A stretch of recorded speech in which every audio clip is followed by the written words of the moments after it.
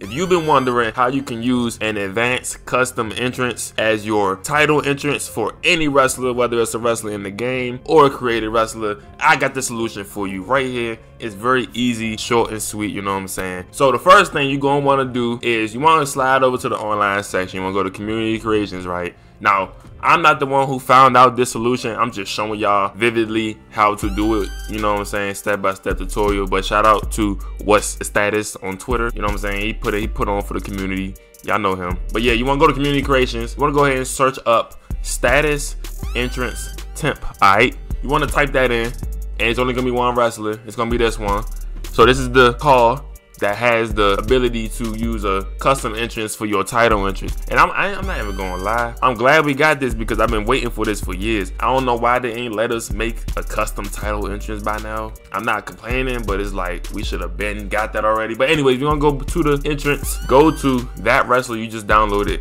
All right, you wanna edit him. Don't do anything else. Just edit his entrance Alright, so I might have just edited how I want to. To be honest, I could just leave it. It's already edited. As you can see, I got different motions, so it's a custom entrance.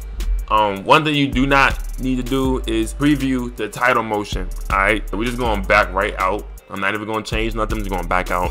And then I'm going to click it, hit copy to superstar. Now, I haven't made my call yet, but I'm going to just use this one as an example. So we're going to copy this to this guy.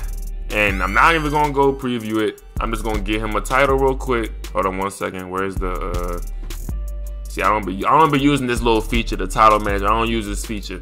But I'm gonna go ahead, you know what I'm saying? I'm gonna get him this John Cena championship, right? You're gonna go all the way back to the play now exhibition, whatever you want to call it. Do a quick little match. I'm gonna go ahead and click that person this guy right here. This is like an actual wrestler. I was just telling, I was just telling somebody that it's like an actual wrestler, bro. I'm gonna go ahead and skip past this part because you don't need to watch this. All right, we got the entrance right here. Here he come. As you can see, the entrance did work. You see the door here, which was the exact beginning for the wrestler we downloaded off of Community Creations. I probably should have changed the intro because I forgot Bray Wyatt's entrance has a long ass intro. You know what I'm saying? Cool intro. I like it. And lo and behold, my dog right here. Whoa, look at his eyes. His eyes is like really white. My bad. I didn't mean to react like that. But as you can see, he got the championship on, which is glitched over his jacket as always because 2K just haven't fixed it for whatever reason. I don't know. But you see his entrance just changed. You know, this is the custom entrance. So it clearly works. He got the title with him and he still got his custom entrance. He don't have to use a title motion or whatever. You feel me? But that's basically it for that tutorial. It's pretty simple. But anyways, hit that sub button if this helped you. Hit that like button. Leave a comment if you got any questions or if you not quite sure how to do certain parts. I got you. I replied on my comments. Whatever. I'll see you in the next video though.